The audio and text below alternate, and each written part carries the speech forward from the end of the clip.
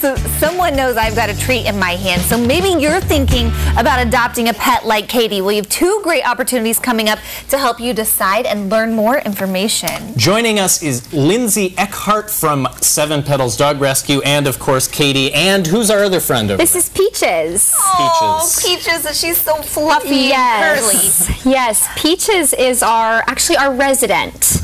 Um, she is our a permanent member of Seven Petals Dog Rescue. She was pulled from uh, a kill shelter up near Chicago because she has seizures every day, um, and they were going to put her down because of her seizures and because she's she's 13. Oh. So she's quite an old little lady, but we still love her. Yeah. So we pulled her, and she's living out her life with Seven Petals. Well, that's great. She's so cute and furry. But Katie's looking for a home. She is, yes. Katie is about two, and she is um, a border collie cattle dog mix. We're, we're guessing.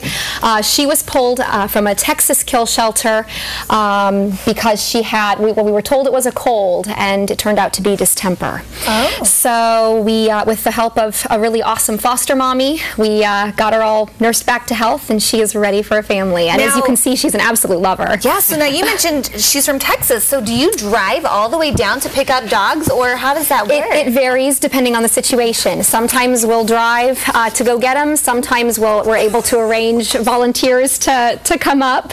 Uh, but it just it kind of varies depending on the situation and, and how we can you know most easily get them to us. So if she's two years old, is this about as big as you expect Oh her yes. to get? Yep, she will not get any bigger, and This is she a great size. she It is a thinks she's a lap dog. She really does. I can tell. I love you. Yes, I do. You're so cute. So you've got some events coming up where We people do. can learn more information about Seven Petals. Absolutely. We have two events coming up. The first is July 20th, uh, and that's our Paw Perazzi photo shoot. Uh, and that is a really excellent opportunity for you to both uh, meet the rescue dogs, support the rescue, and also get some really great photos of your pet taken. Yeah. Um, and then our next event is uh, July 27th, and that's at Forest Preserve Park in Monticello. And we're going to have a barbecue, the Dog Days uh, barbecue fundraiser. Um, and we'll have a silent auction and games of chance and a smooch a pooch booth and all this kind of good stuff. Uh, Joe, Joe's ears perked up on that one. I've got my dog chapstick. And- there you go. There you go. Well, there are lots of puppy kisses to go around, let me tell you. This is great. Yeah. Um, and this is important for you guys, especially because you don't get funding. I mean, it's all. No, it is all volunteer work, um, and it is all funded by donations and then any kind of adoption fees. But the adoption fees generally do not cover our costs, so we really need the help of our donors and the community. Now, is this something you need to register for, or is it just show up and come have fun? For the uh, barbecue, if you want to come and, and do the silent auction and participate in the games and see the doggy parade and all that kind of good stuff, you do not need to register. You can just show up. If you want to eat, you need to let us know so we can have enough food for you. Um, for the photo shoot, um, in addition to doing photos actually on July 20th, we're also going to be doing low cost microchipping.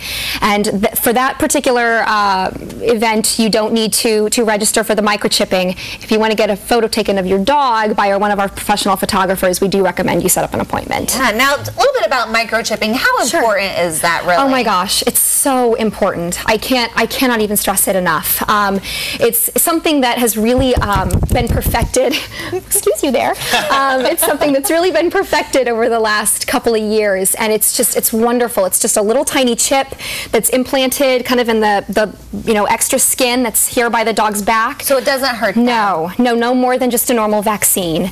Um, and then on this chip is put any kind of information that you want about your dog. Uh, you know, information about your dog, information about you, um, information about, for example, our rescue dogs have all of our information in them as well. Um, and then this means that if your dog was ever lost and picked up and taken to a shelter or a vet or anywhere else, you you know you are pretty much eliminating the risk of your dog being put down at a kill shelter because they will scan um, and find a microchip and they can reunite you with your pet. So it really is just it's a one-time fee. There is no you know hidden monthly costs or anything, and it lasts the rest of your dog's life. Yeah, it's it's a wonderful way to really protect your dog. Well, it sounds like a great time to come and check out Seven Petals. Maybe Yes. get in touch with you to take this little girl home. Yes, she, she needs, needs a loving home. Yes, she does. All right. Well, thanks so much for coming Of in, course, bringing our you. friends today. If you want any more information on Seven Petals and their events coming up, go to ciLiving.tv after today's show, and we'll get you connected.